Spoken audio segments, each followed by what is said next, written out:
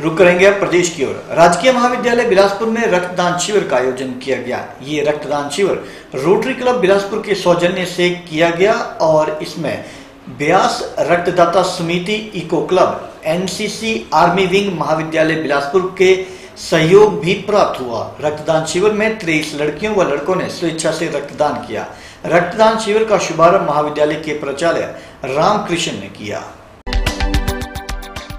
राजकीय महाविद्यालय बिलासपुर में रक्तदान शिविर का आयोजन किया गया। ये रक्तदान शिविर रोटरी क्लब बिलासपुर के सौजन्य से व ब्यास रक्तदाता समिति eco club, NCC army wing महाविद्यालय बिलासपुर के सहयोग से आयोजित किया गया रक्तदान शिविर में 23 लड़के व लड़कियों ने स्वेच्छा से रक्तदान किया। रक्तदान शिविर का शुभारंभ महाविद्यालय के प्राचार्य रामकृष्ण ने किया। उन्होंने रक्तदान शिविर के प्रथम रक्तदाता सुशील पुंडीर को सम्मानित किया। सुशील पुंडीर ने लगातार 118 बार रक्तदान किया है रोटरी क्लब के अध्यक्ष भूपेंद्र टांडू सचिव अनिल शर्मा प्यास रक्तदाता समिति के संस्थापक कमलेंद्र कश्यप सलाहकार सुरेंद्र गुप्ता हरिओम सरीन डॉक्टर टंडन टेकचंद सोनी ने मुख्य अतिथि को सम्मानित किया मुख्य अतिथि ने अपने संबोधन में कहा कि रक्त का मोल नहीं है, रक्त अनमोल है, इसलिए सभी को रक्तदान करना चाहिए। रक्त की कमी सिर्फ़ रक्त ही पूरी कर सकता है। उन्होंने रोटरी क्लब, ब्यास रक्तदाता समिति का महाविद्यालय में रक्तदान शिविर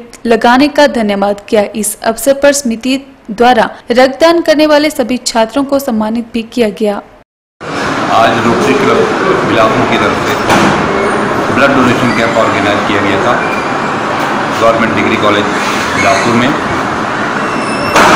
व्यास रक्तदाता समिति के सौजन्य से। तो सभी लोगों के सहयोग से बहुत अच्छा ये कैंप रहा हमारा। ब्लड डोनेशन का मतलब है कि किसी आदमी की लाइफ सेव करना। तो यहाँ सभी बच्चों ने बढ़ चढ़ के भाग लिया। हमारे पास तेईस यूनिट ब्लड यहाँ इकट्ठा हुआ। तो इस सब के लिए मैं इन बच्चों का व्यास रक्तदाता समिति का, जिन्होंने हमारा कैंप को लगाने में सहयोग किया।